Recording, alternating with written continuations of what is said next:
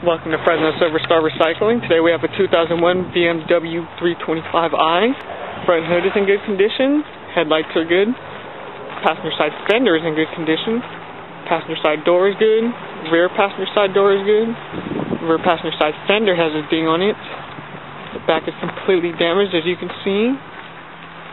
Rear passenger side tail light is good. Rear driver side fender is no good. Rear driver's side door is good. The driver's side door is good. And the driver's side fender is in good condition.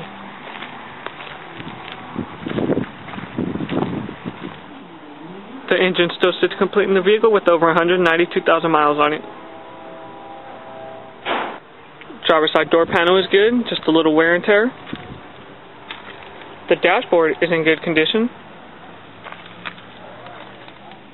Passenger side door panel is in good condition, just a little wear and tear as well.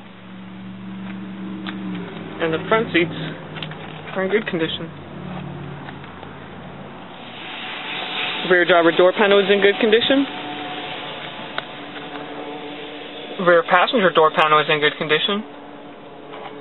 And the back seats are in good condition as well.